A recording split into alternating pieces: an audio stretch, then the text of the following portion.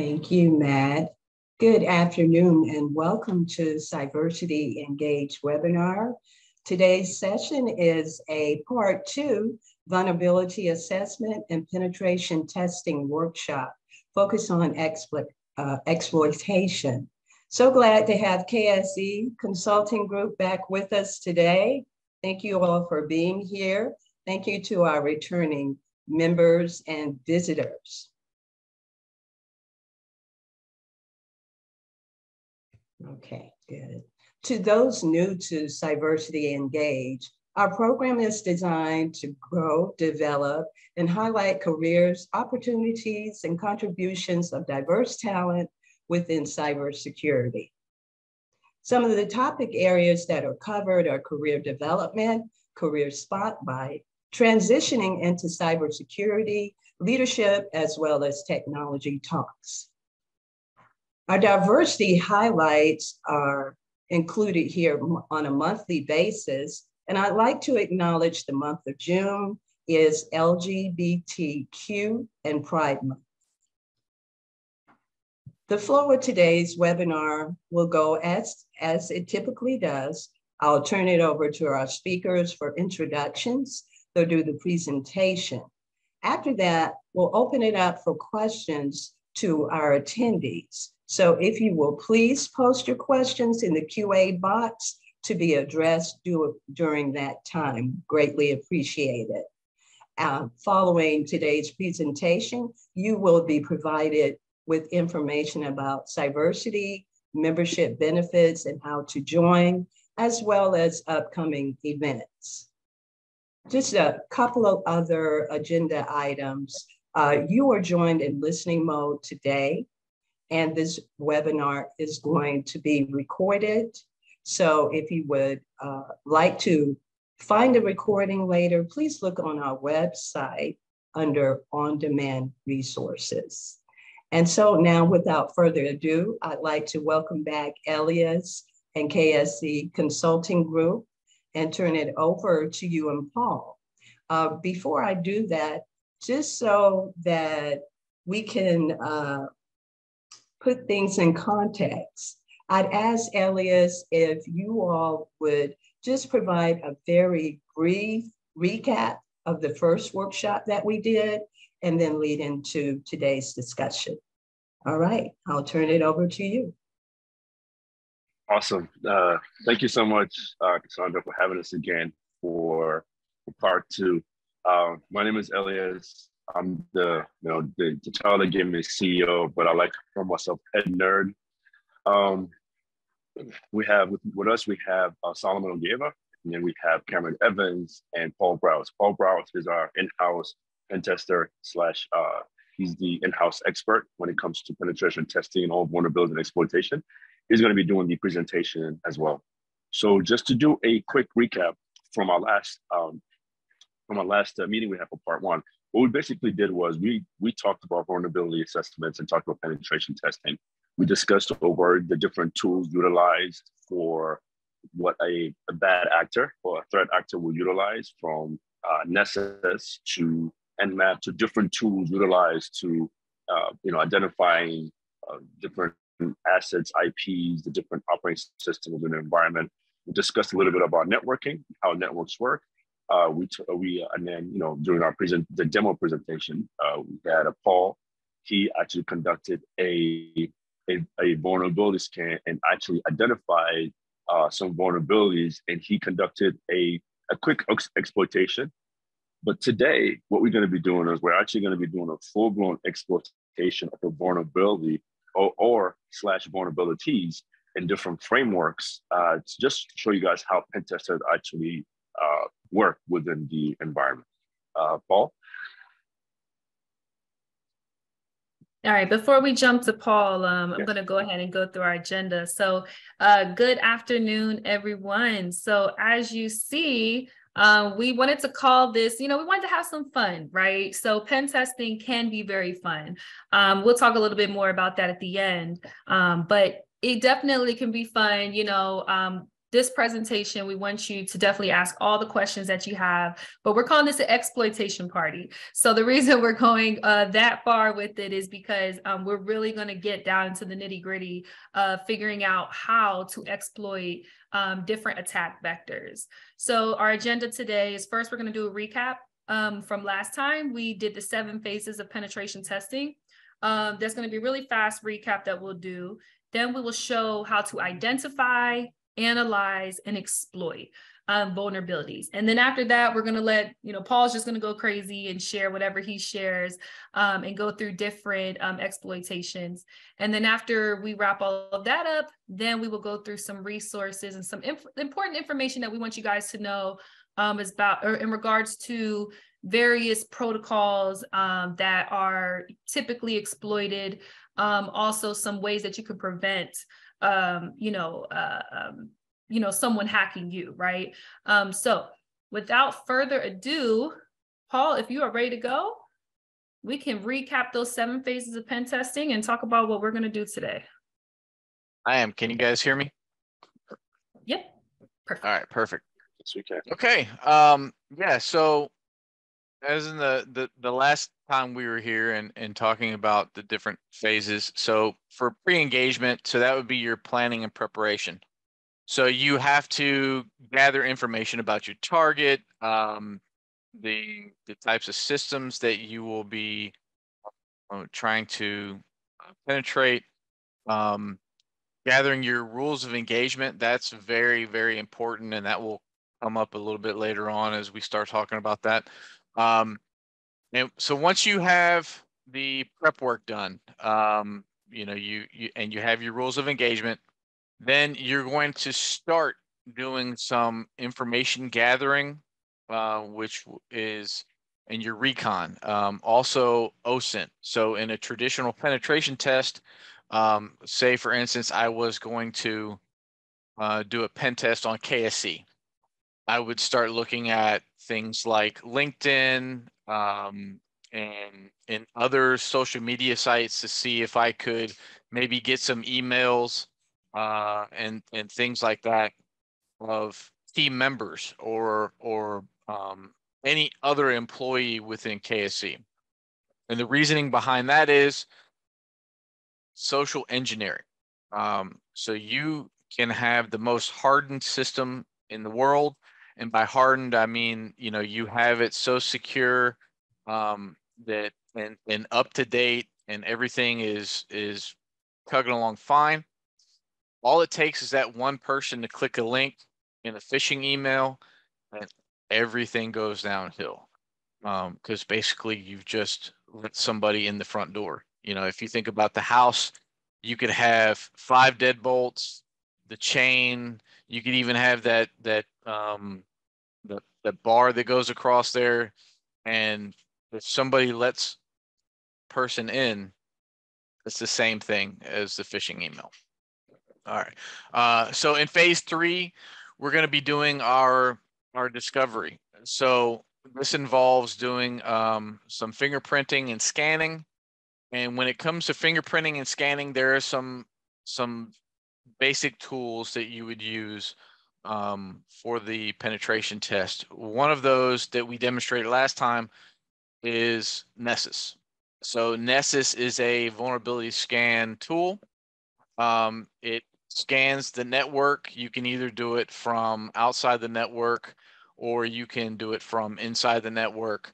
Um, being inside the network, it would give you a lot more um, a lot more surface area to scan outside the network, it would be if a, a hacker was actually looking at your network to try and attempt an exploit um, or, or gathering that information.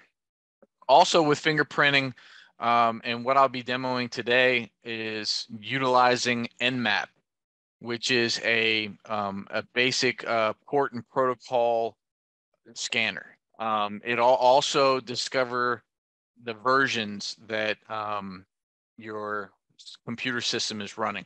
So if you have uh, Windows 10, it can tell me that you have Windows 10. It could even tell me uh, what um, service pack you're on and things of that nature. So very yeah, important. Which, which, which, we are going to cover in the next slide. So um, yes. Yep. Go ahead, Paul. Yeah. So um, sorry, getting a little a little bit ahead, Cam. Um, so again, uh, Nmap very uh, powerful tool, and it is utilized in um, pen testing almost always. I don't think I've heard of any pen testing without doing some Nmaps. Um, so in phase four, vulnerability assessment, that's uh, our initial exploitation. Uh, so that also um, is not just initial exploitation, but um, it is the vulnerability research. So if you get a, uh, uh, if you spot a vulnerability, then you have to go research it to figure out how it's going to be um, initially exploited. All right. And then obviously phase, phase five is the exploitation.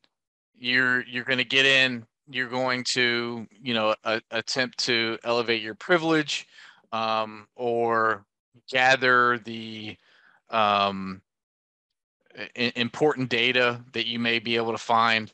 Um, in the case that we're going to do today, it's basically just to get in and either obtain uh, root access or administrator access. And then, of course, phase six, that's cleanup, that's post exploitation. Um, and, and that's just making sure that you set the system back to the way it was before you started creating um, you know various uh, uh, or exploiting the vulnerabilities and then phase seven um, and phase seven is very important for uh, the penetration test because you are going to uh, explain to people that may not be very technical what's wrong with their system and how they can fix it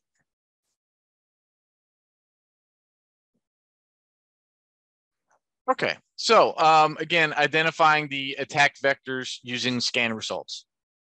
So the last time we were here, we ran, uh, we we demonstrated running an Nessus scan and how you do that, um, and and just understand that in the real world, uh, a bad guy, he's not going to use a Nessus scan uh, unless he just wants to, um, you know, announce his presence. Okay, it's not it's not a quiet way to analyze a system, and it can set off uh, the intrusion detection system. Could even trigger an intrusion prevention system to come down and, and block the IP that you're that you're utilizing. Um, now, with that being said, though, we demonstrate we did demonstrate how it can scan the system and uh, enumerate all of the various potential vulnerabilities. And it'll tell you within the um, Nessus scan how to remediate those vulnerabilities. So it is good in, in that regard. And you would use it on an official penetration test, um, basically because they already know that you're that you're going to be coming into the system.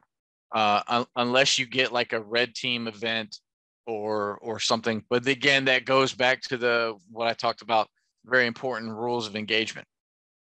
Um, now, onto Nmap scans. This is what a bad guy would use. Um, uh, definitely, it it can enumerate your network quietly. It will tell me, um, you know, ports, protocols, and services, um, versions of those services or operating systems um, and you'll see why that's very important here in a moment. Um, and, and again, the best thing is it can be done without setting off those uh, intrusion detectant detection systems and intrusion prevention systems so they don't know you that you're there. And it is always used or should always be used on um, any pen testing engagements. There are a couple similar tools, but they rely basically on the Nmap scan engine. Um, so go ahead for the. Mm-hmm. So also to highlight on this slide as well, um, the reason we also wanted to show you these two different scans is because of course we know penetration testing right? That is you're you're on an engagement, right? You're a professional.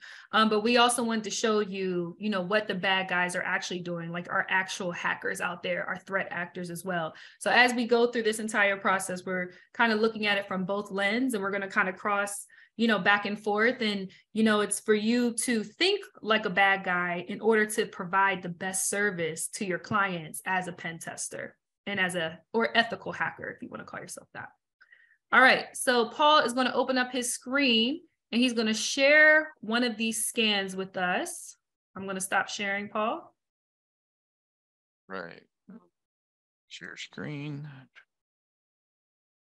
and so as paul is pulling this up um, you know, we are going to get really technical here. So please, please add your questions into the chat. Um, you're going to be so looking just, at, yep, go ahead. Yeah. So just to, um, let me know when you can see it. Yep.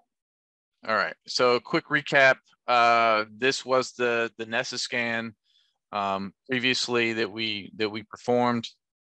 Um, and and again like i said it it gives you the the the rating for critical or high it tells you the name of that vulnerability um, and it looks a lot prettier when you're actually in nessus it gives you a little color coding um, so for today um, the the first machine that i'm going to demonstrate on the first vulnerable machine that i'm going to demonstrate on and and i am going to preface that with um, never try to hack anything without permission, ethical hacking. So um, these are these are machines. These are virtual machines. They're on my own computer. I am not out hacking anybody um, or any entity. These are mine. I just want to state that uh, just up front. So, yep. And so, Paul, so the first step we're going to take is we're going to go to that Nessus scan and then identify um, one of the vulnerabilities um, that we're going to be going over. Sure. Um, so again, Nessus scan. There's a lot of different vulnerabilities here. One of the things that that we will be focused on is primarily SMB.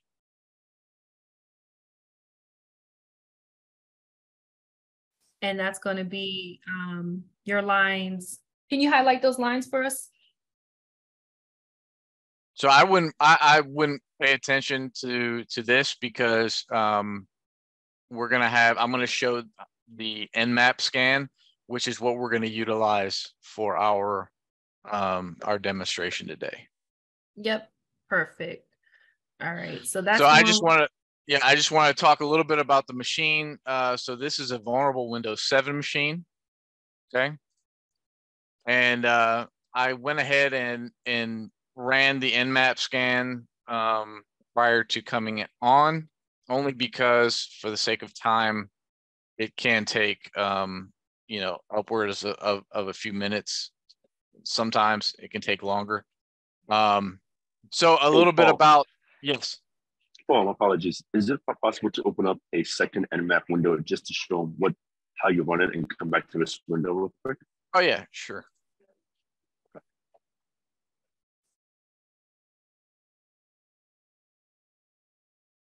Okay, so to run this command, um, basically there's different um, IP, you, you want to utilize the IP address, obviously, of the machine that you're attacking. Um, now, the, the various things like the dash dash P um, right here, that's to signify that I want it to scan all ports. Okay. Um, the dash T4 is to represent the speed with which I want it to do it. Uh, and then the, the dash A is basically, it's going to run every script that, um, that Nmap has. Um, now, if you were to just run a basic scan,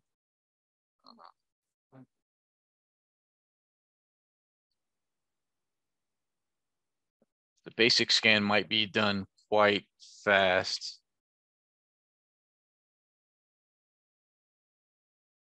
So you could just say nmap, and then scan that IP address. Now it says that it seems it it seems like the host is down and that it may be um, blocking. So that's when you can try uh, other different things as it suggests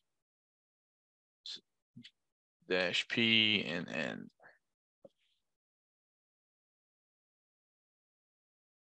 so again there's other variations as well. You could say that you want it to just look at the versions of whatever service that it finds open. Um, and and those are very important to to look at. Uh, number one you want the port. Number two you want to see what's running on that port. What type of service is it and number three any information that you can gather about that service so in this instance, as you see, um, I have various ports here are open. So port 139 and 445 are, uh, those lead back to SMB usually. Now, um, Cam, do you yep. want to take back yep. over? Yep, I'm gonna take back over. So you guys see this is the scan. These are some of the vulnerabilities we're gonna be looking at today. Um, and I could steal the screen back from you, Paul.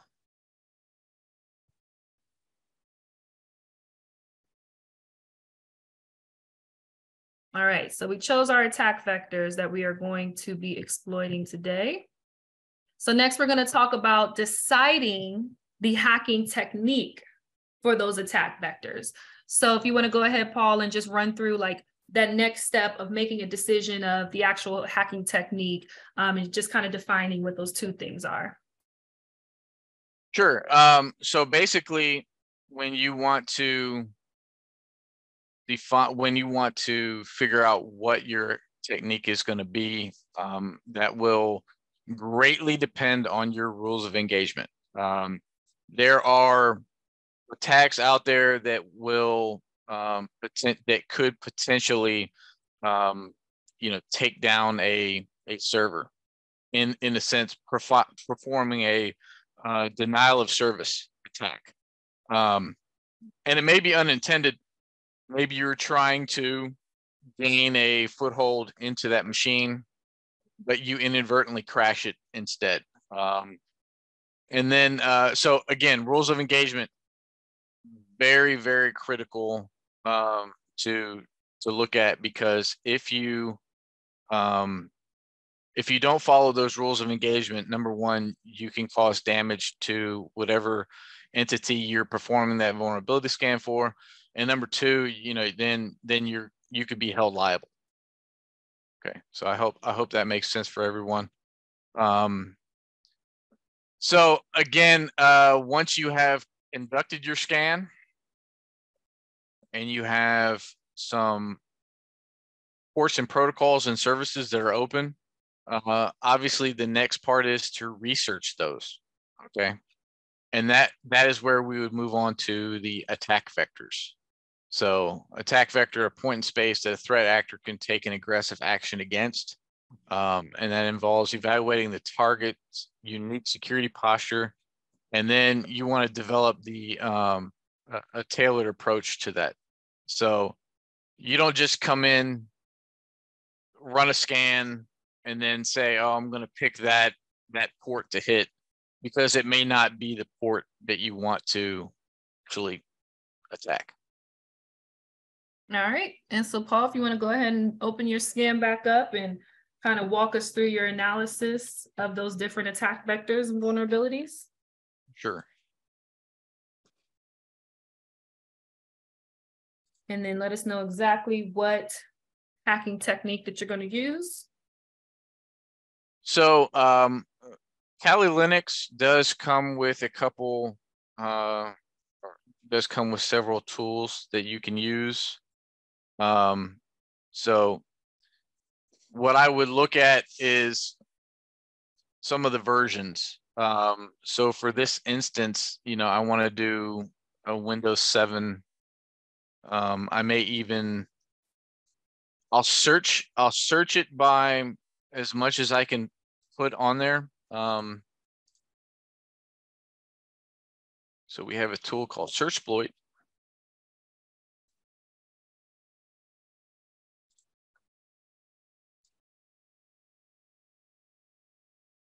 Now, Searchsploit, what it does is it has a uh, database of various exploits, and then it'll literally walk you through the the the. It has a text document, or it could even have a, a program that will show you how to um, conduct those exploits.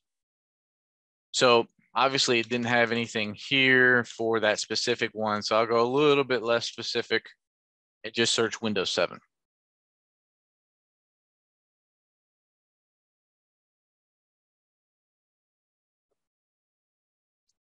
The other method also is I'm going to utilize Google.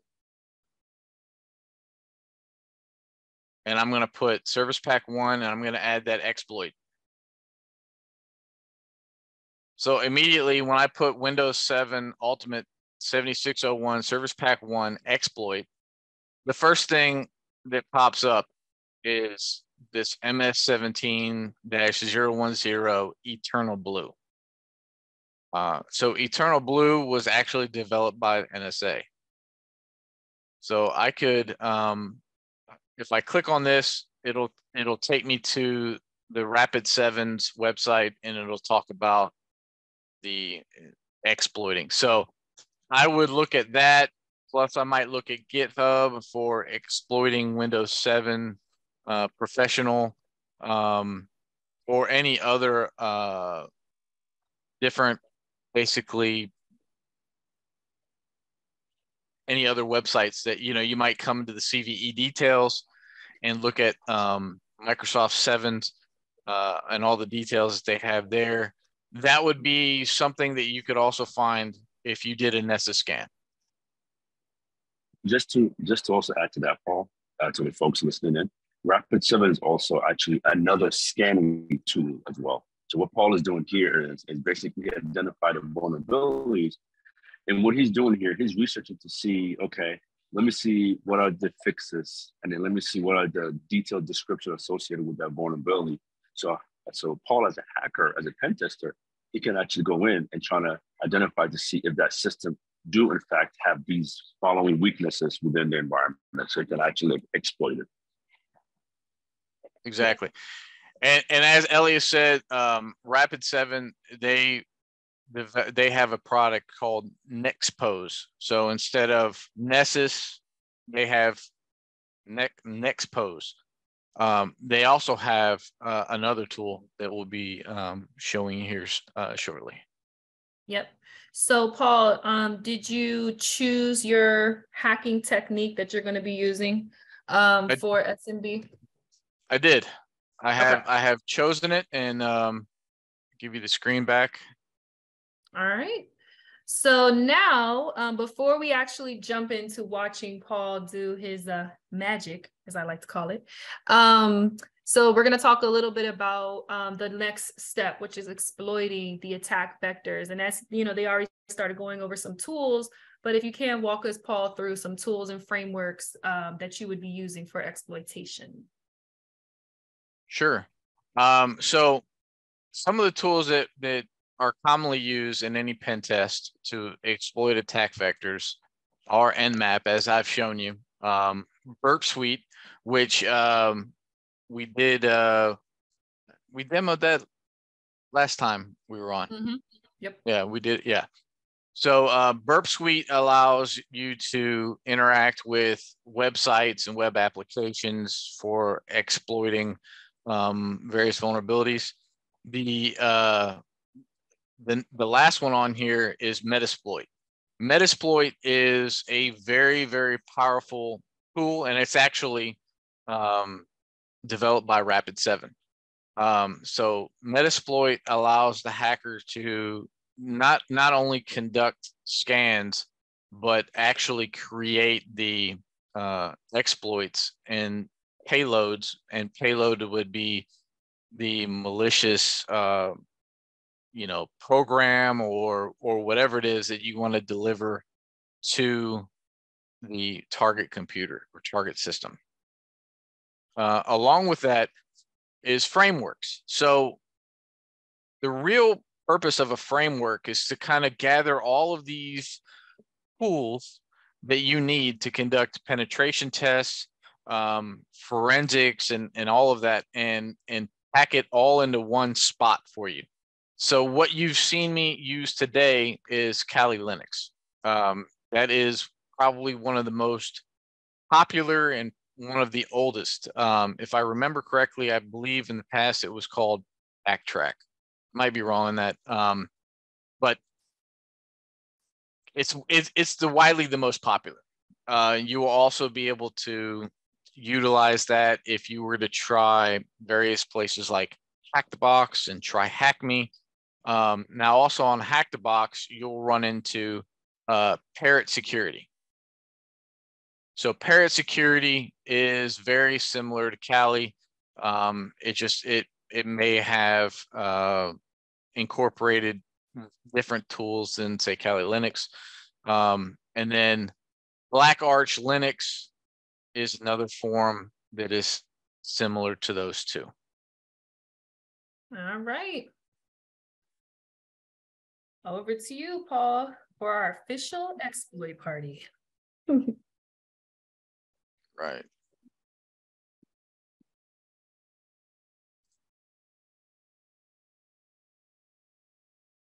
Okay, um, so while we were talking, uh, I can show that the search exploit has come through and it has given us a whole lot of different um, exploits, potential exploits.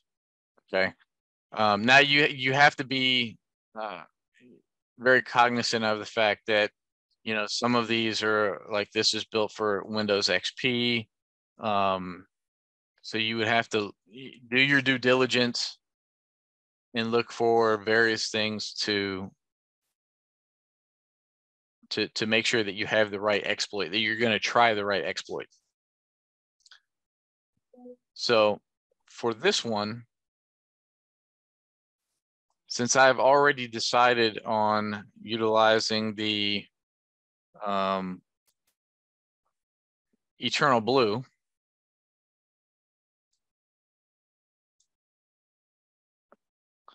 The best thing is, is that I can go into Metasploit. So this is Metasploit.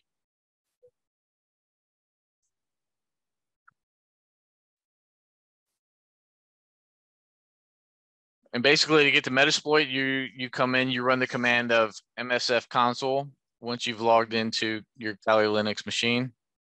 Now, to find potential exploits within uh, Metasploit, you also have a search function. So for here, I will use search.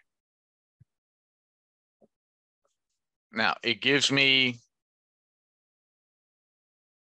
five different exploits. Well, actually, I, I shouldn't say five.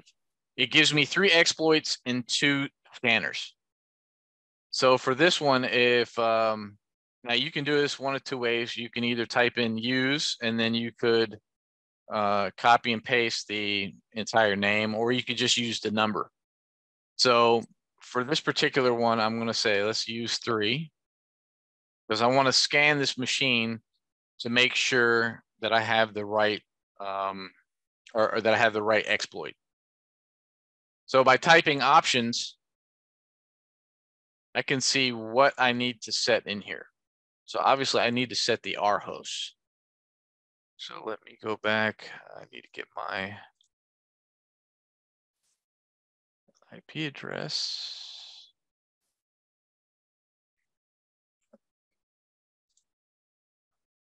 So I set R host, which is the basically the target machine.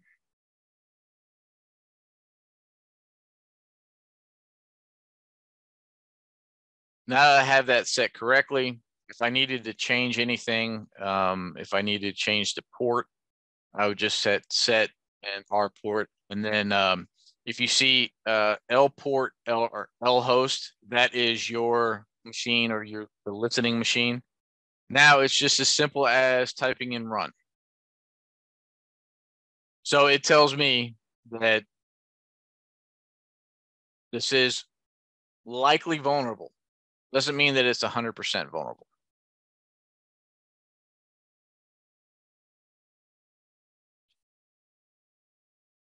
So again, I'll search. So I'm going to say, all right, let me use the eternal blue.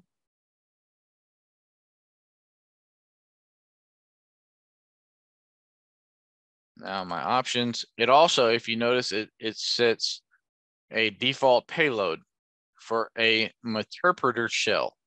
So this gives me a reverse TCP shell, which will enable me to take command and control over the target machine. So again, I'm going to look at options. So I have to set my R host again. And then basically I can leave everything else as default. I already have my L host set. And then it's as simple as typing in run.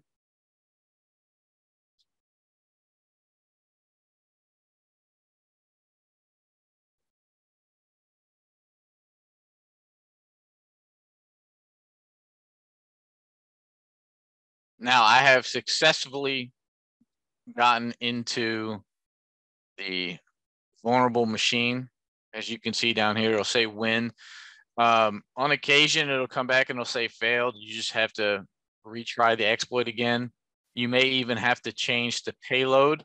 Um, sometimes a staged payload, as this was a staged payload, will not work. And you need to send a um, just a, a non-staged payload. If you send a non-stage payload, it just kind of throws it all in all at the same time. Now, um, to verify that I have it, um, so tells me that I am in the server or I'm in the uh, system. So I can do things like look at the directory.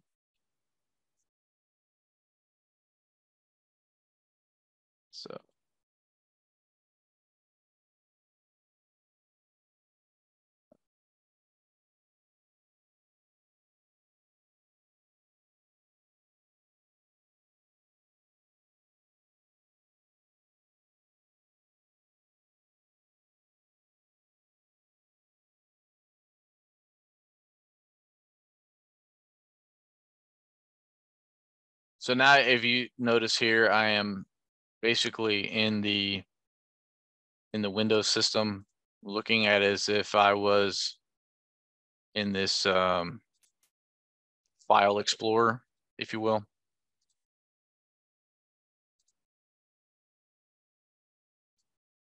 So, and then once you're in, you basically, uh, you could do things like look for specific data that you want to uh, exfiltrate. Now, if you're on a traditional pen test um, for a uh, an, an entity, they've contracted you, you're following rules of engagement. What I would do is I would um, obviously take screenshots. So, so the first screenshot that you're going to take uh, obviously would be of the Nmap scan. Um, and then once you've captured that information, um, you know, you would you would talk about uh, how you exploited, and you would show. You know, you could talk about that you ran that scanner, and that scanner showed that it's vulnerable, and then you could run, and then you would take another one of the fact that you're in the machine what your user ID is. And then basically you could you could screenshot some of these um, just showing how you could access uh, various aspects of the system. So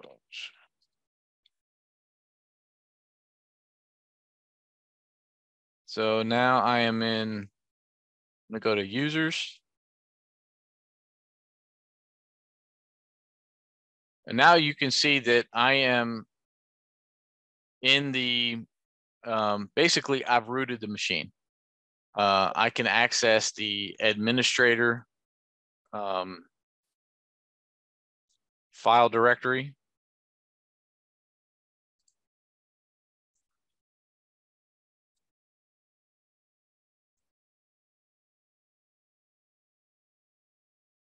And now that I'm in here, I can, you know, change things. Um, I could delete the boot. Um, there, there's a whole lot of damage that you could do, but there's also other things that, you know, maybe you're looking for um, documents. So how many of us keep stuff on their desktop? So I see something that says important documents, right?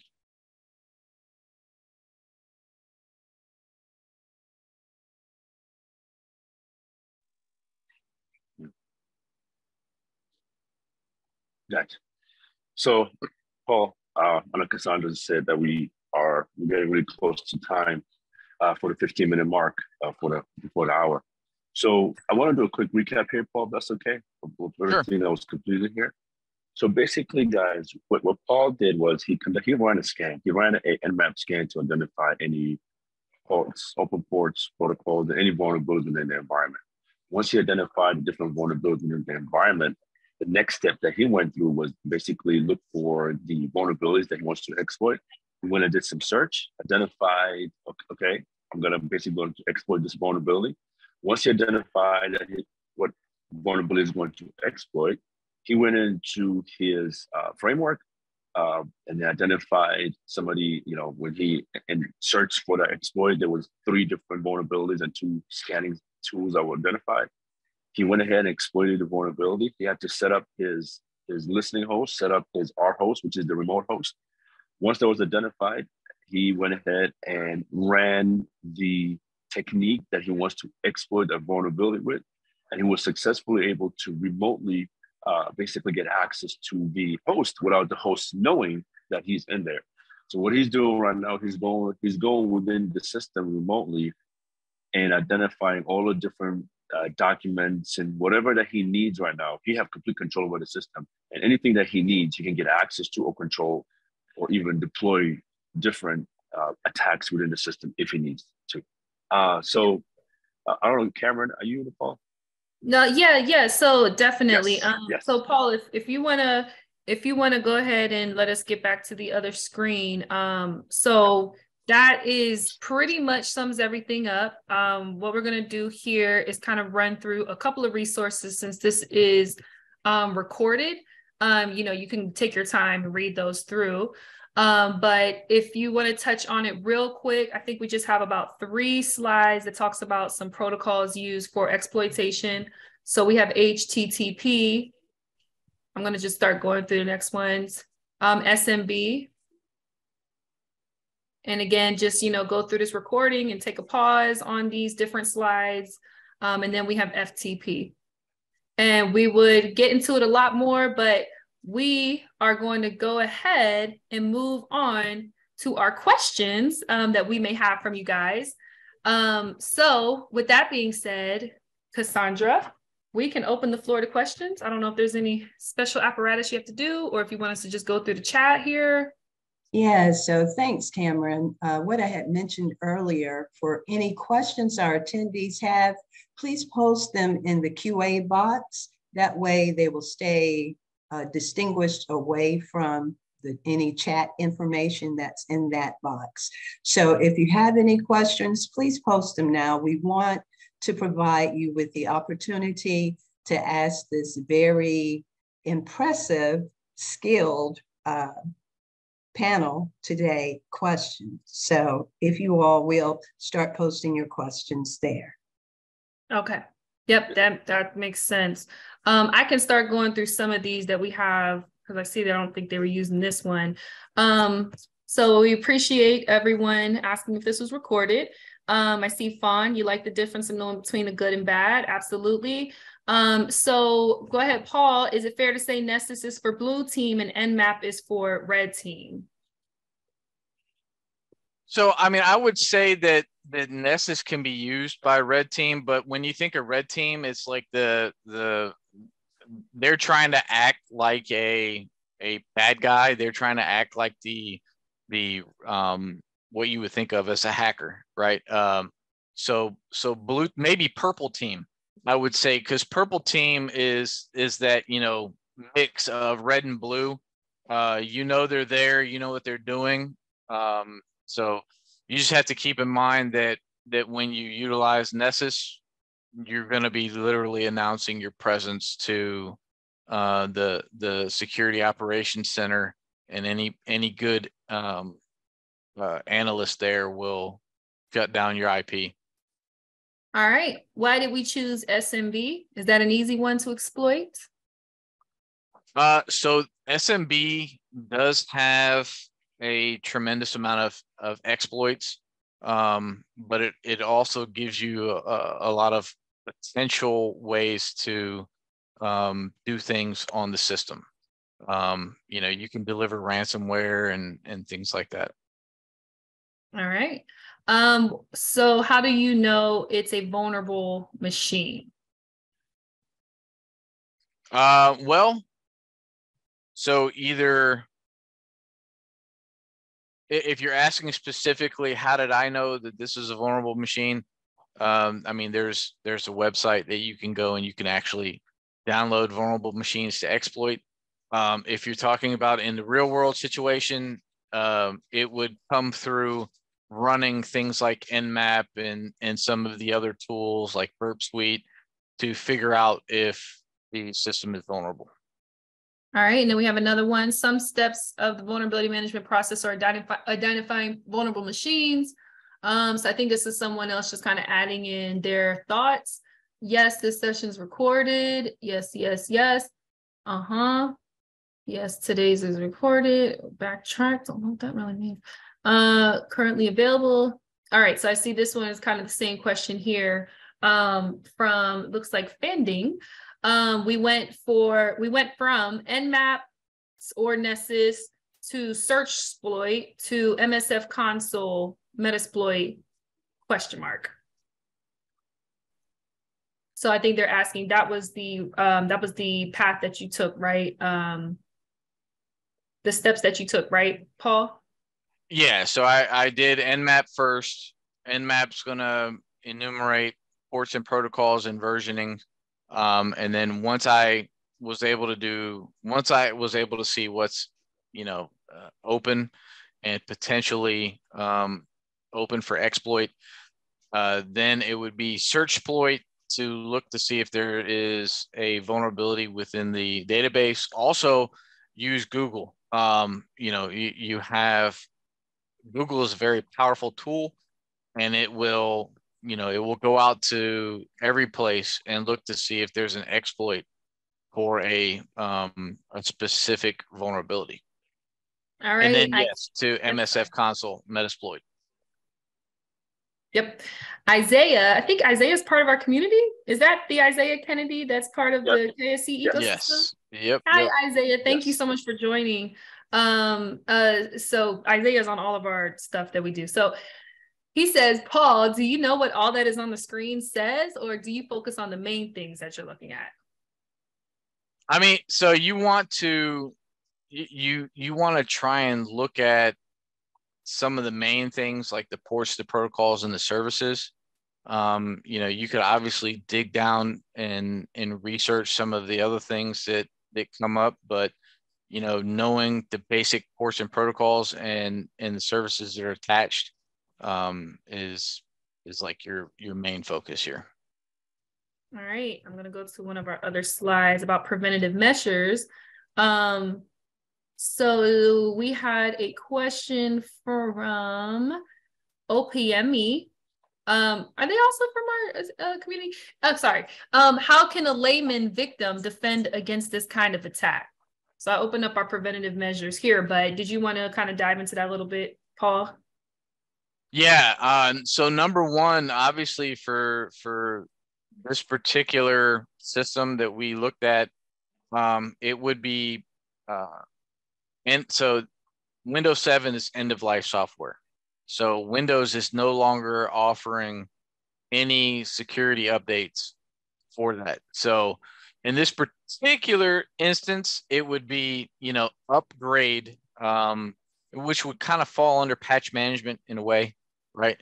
The other part is, uh, you know, having uh, endpoint security, having your um, your intrusion detection system, your intrusion prevention system, um, you know, really your your firewall, all of those things like that. So the number one thing that a layman person can do is make sure that they're on patch management because you're not going to have um yeah you know the the crazy tools that an organization would but you do have your own endpoint security right you do have your antivirus anti-malware you have a windows firewall and things like that Yep.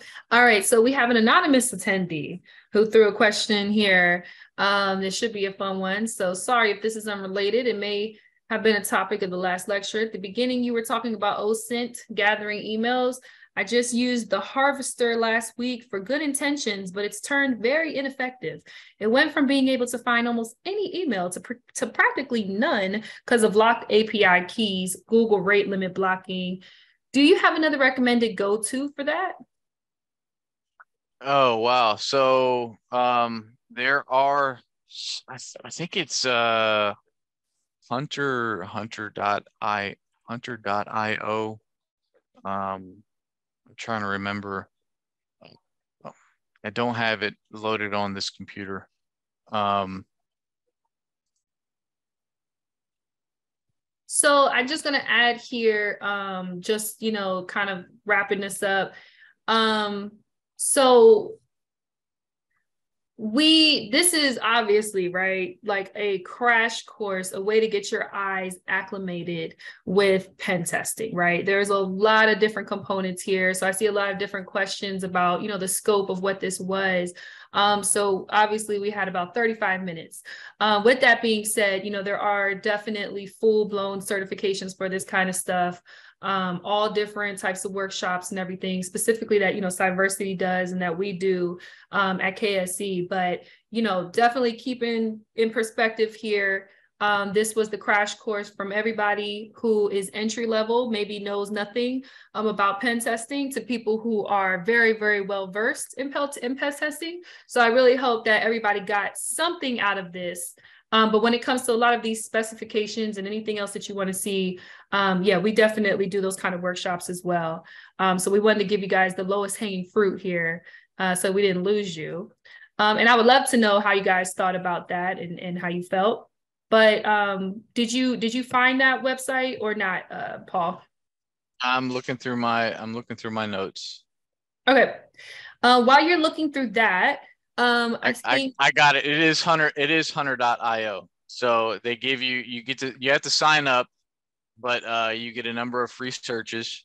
Um, there's uh, email hippo that you can use for verifying addresses. Um, mm-hmm. uh, the hunter hunter.io is probably one of the ones that you'll want to look at all right. And then Deo, um, he asked, do Sims easily flag such attacks? It depends on how loud the person is that's trying to, and when I say loud, it's, uh, you know, what techniques are they using?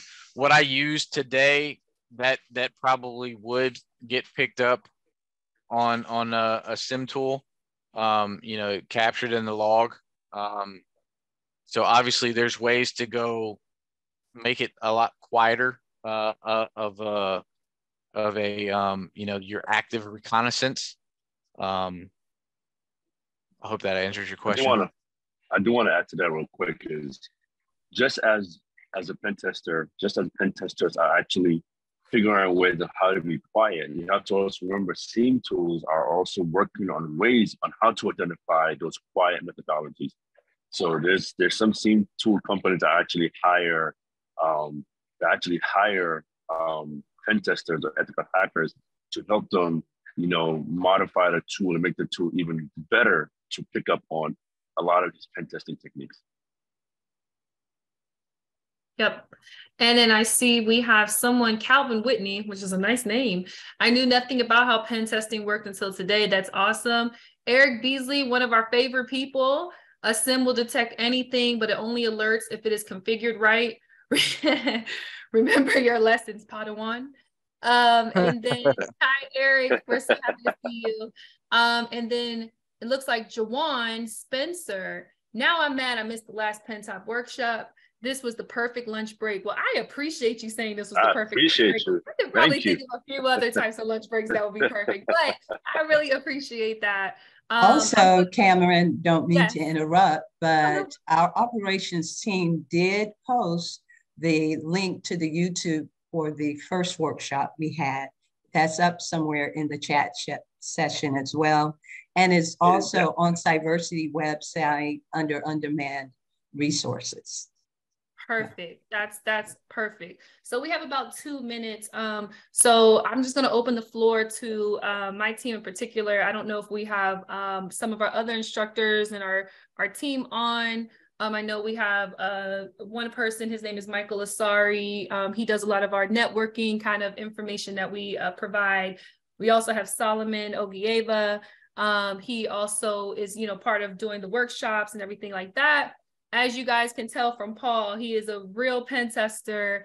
Um, and I wanted to point this out to all of you who wanted to get into pen testing. I mean, one of the reasons that we love cybersecurity and we push it with a lot of like underserved communities or underemployed individuals or any of that kind of thing is we push a lot of people into pen testing because, you know, you don't have to be, you know, it, you're getting hired for your skills, right? And for your knowledge.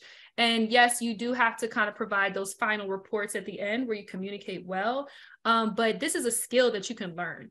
You know what I mean? And it's something that you can definitely believe in yourself. And so I hope we showed you today that it just takes some um, exercise. And this was in 30 minutes. So we're so grateful to have the opportunity. Thank you, Cassandra. Um, and You're welcome. Thank you all so much for being here today. Uh, if you could release the screen share so I can bring up. Yes. Thank you. So um, again, thank you all so much for being here. KSE is the best here. You all got a lot of free information, free training. Um, I do believe you all mentioned you had a Discord community as well. So, you know, I, I recommend uh, that our attendees follow up on that. Um, also, Cyversity does have training opportunities as well as mentioned before. I'm just going to share a little bit about our mission and our cause, uh, which is our mission is the consistent representation of women and underserved, uh, underrepresented minorities within the cybersecurity space. So that is the, the heartbeat, that is the purpose and mission that we're focused on. Uh, the cybersecurity community and uh, profession has such a huge workforce gap. And we're trying to provide this opportunity for so many people out there.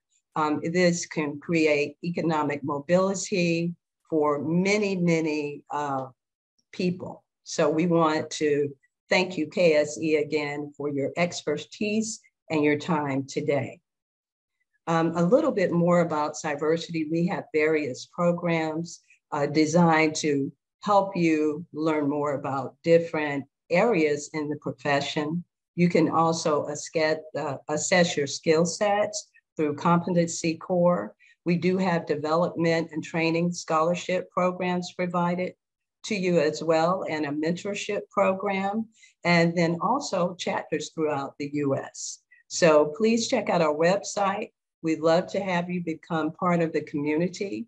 We have uh, just a, a low base membership fee, $100 for professionals and $20 per student, and that is on an annual basis. Uh, next, I'd like to talk a little bit about our national conference coming up in October, October 29th through the 31st. We are now taking call for speakers. And so if you're interested in presenting, please uh, check out our website to submit what you'd like to speak about before June the 29th. But check out our website for more information there. Lastly, I want to thank our attendees for joining us today. I hope you found that this topic was valuable. We also are providing a survey and we ask that you complete that to provide us with feedback on today's event. Uh, I'm going to wrap up with a couple of more things here. Uh, has become has access to Cybrary IT, which is a learning management system. Right now, we have available eight slots for active Atlanta chapter members. If you'd like to gain access to that, it provides training, uh, certification prep, it for all levels of cybersecurity professionals. If you're you're transitioning in, it's a great resource to utilize as well. And that would be independent learning, practice test questions for uh, certifications and things like that. Um, our next event that we have coming up will be in August on the four quadrants of security compliance programs. And we're also uh, organizing other events. Please check out the website under on the events page for other events that are in the planning process to be posted out very, very soon. And on that note, I would just say thank you so much again, Cameron, Elias, Paul, absolutely awesome. We appreciate you. And until next time, uh, we hope that you'll join us back again and maybe we can make that in-person event happen. Okay. I love thank that. so much. We love that. Okay. Thank you so much. Thank you. All right. Thank you. thank you. All right. Bye guys. Bye-bye. Stay safe and stay connected, everyone. Absolutely. Bye-bye. Absolutely. Bye. Have a good day.